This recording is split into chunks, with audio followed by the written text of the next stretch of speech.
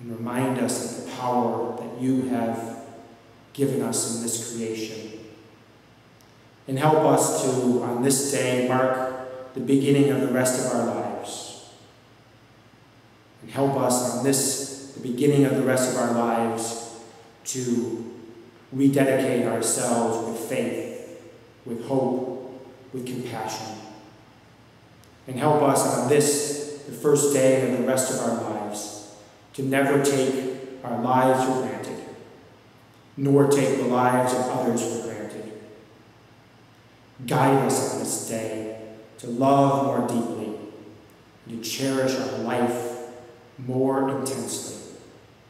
We ask this in the name of Jesus Christ, our Lord and our Savior, who boldly taught us to pray, saying, Our Father, art in heaven, hallowed be thy name.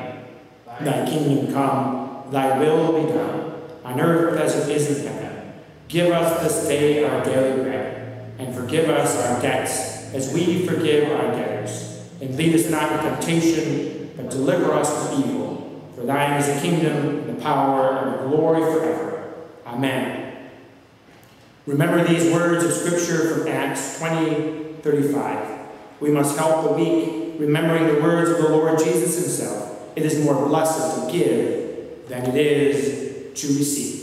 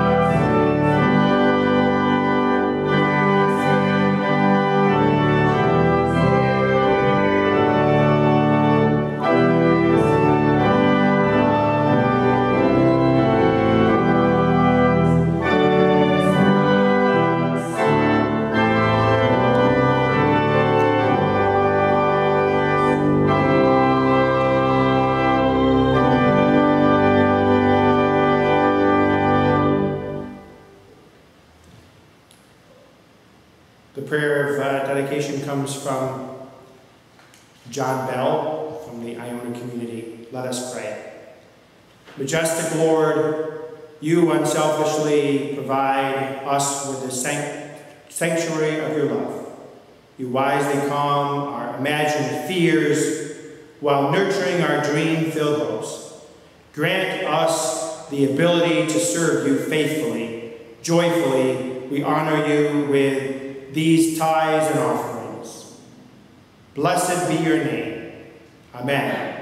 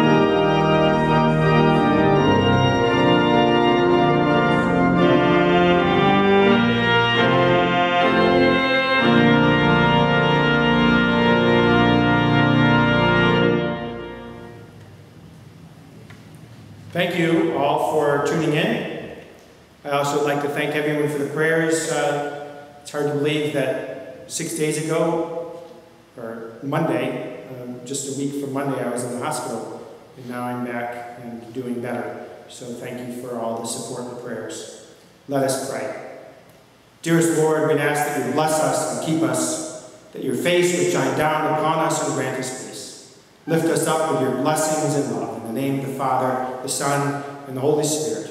Amen.